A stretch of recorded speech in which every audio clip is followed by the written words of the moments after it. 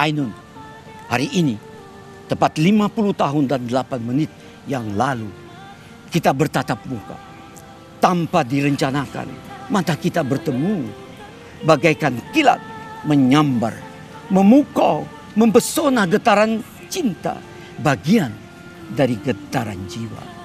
Alunan getaran yang tinggi berirama dengan jenutan dan tarikan nafas tak terkendali mengkabuli diri kita sepanjang masa sampai akhirat. Sekarang 50 tahun dan 8 menit kemudian berkunjung ke Taman Makam Pahlawan.